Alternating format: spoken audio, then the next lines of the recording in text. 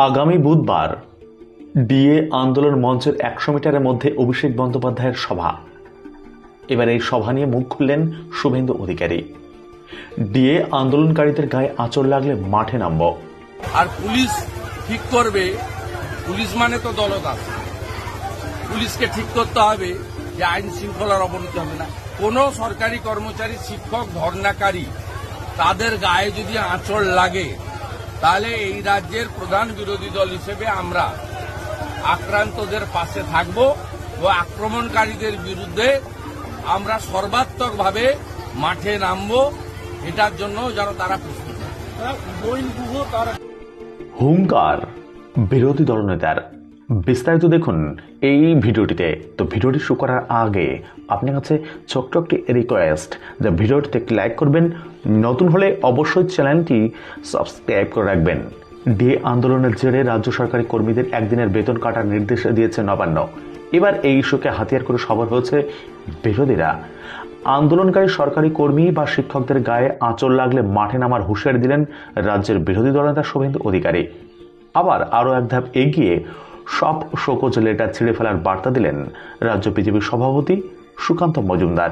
এদিন প্রধানমন্ত্রী মন কি বাত অনুষ্ঠান সকলকে শোনাতে নন্দীগ্রামে বিশেষ ব্যবস্থার আয়োজন করা হয়েছিল। সেই অনুষ্ঠানে নন্দীগ্রামে এসেছিলেন বিরোধী দল নেতা শুভেন্দু অধিকারী। সেখান থেকে রাজ্য সরকারি কর্মী ডিএ আন্দোলনকারীদের পাশে থাকার বার্তা দেন শুভেন্দু। আগামী বুধবার ডিএ আন্দোলন মঞ্চের একশো মিটারের মধ্যে অভিষেক বন্দ্যোপাধ্যায়ের সভা রয়েছে। সেই প্রসঙ্গ তুলে শুভেন্দু বলেন, কলকাতায় সভা করার অনেক জায়গা ছিল।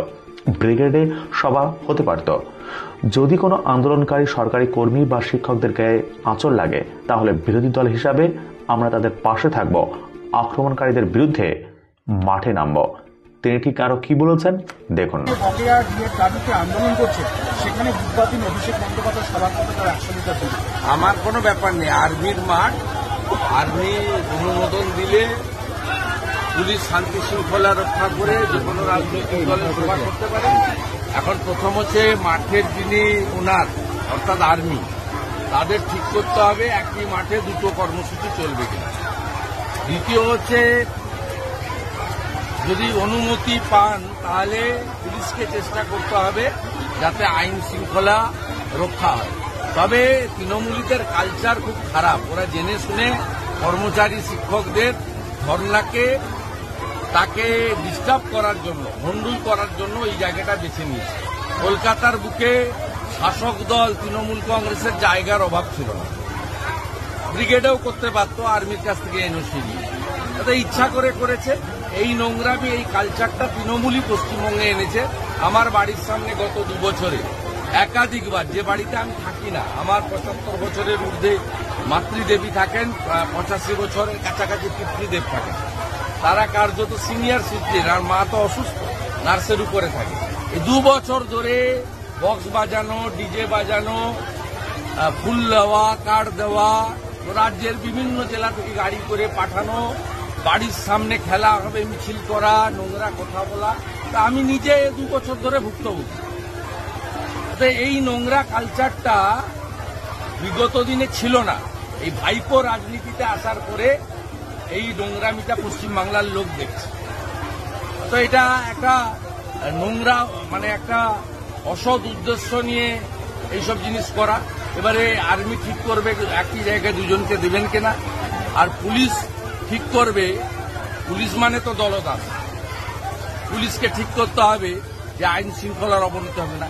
কোন সরকারি কর্মচারী, শিক্ষক ধর্নাকারী তাদের গায়ে যদি আঁচড় লাগে, তাহলে এই রাজ্যের প্রধান বিরোধী দল হিসেবে আমরা আক্রান্তদের পাশে থাকব ও আক্রমণকারীদের বিরুদ্ধে আমরা সর্বাত্মকভাবে মাঠে নামব। এটার জন্য যেন তারা আমরা যদি ক্ষমতা থেকে করে দেখাতে ওনার যদি ক্ষমতা থাকে ওনাকে বলুন করে দেখা ক্ষমতা থাকলে করে দেখা ওনাদের উপরেও অনেক লোক আছে জুডিশিয়ারি এখনও ভারতবর্ষে মরে যায় আমাকে সাসপেন্ড করেছিলেন সাসপেন্ড প্রত্যাহার করতে বাধ্য হলেন কেন? কলকাতা হাইকোর্টের হস্তক্ষেপ। ভারতবর্ষে এখনও জুডিশিয়ারি জিন্দা আছে। এটা তৃণমূল কংগ্রেস কান খুলে শুনে রাখুন। বেআইনি কাজ করবেন তার ফল আপনাদের ভুগতে হচ্ছে এবং আগামী দিনে। শোভনদেব চট্টোপাধ্যায় বলছেন যে প্রতিপক্ষের সঙ্গে লড়াই করার হচ্ছে, ভাবতে পারবেন। এরা কোন লেভেলে গেছে? আমার বাবার নাম তুলে বিধানসভায় ব্যঙ্গাত্মক কথা বললে আমি প্রতিবাদ করি। কারণ পিতৃদেব হচ্ছে মহাগুরু। আর এই বলব এই পুত্র উদয়ন গুহ তিনি পিসি ভাইপোর কাছে ভালো হওয়ার জন্য নিজের স্বর্গত পিতৃদেবকেও চোর বলে স্বীকার করছেন। এর থেকে লজ্জা রাখার কোনো জায়গা নেই। রাজনীতি অনেক পরের বিষয়। যারা পৃথিবীতে আপনাকে আলো দেখিয়েছেন, পিতামাতা মানুষ করেছেন, তারা হচ্ছেন মহাগুরু।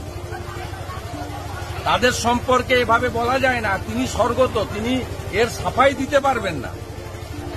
যিনি স্বর্গত, তিনি এর কাউন্টার করতে পারবেন না।